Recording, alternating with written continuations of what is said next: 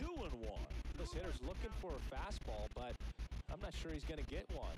Pitcher doesn't have to. Oh, this one high and deep, way back there. Predicted.